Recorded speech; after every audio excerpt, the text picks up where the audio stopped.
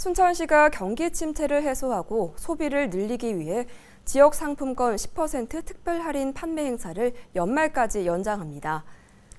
순천 사랑 상품권은 7월 24일부터 지역 농협은행과 순천농협, 원해농협, 축협 등 48개 지점에서 현금으로 구입할 수 있고 시민 한 명당 한 달에 50만 원, 1년에 600만 원 한도가 적용됩니다.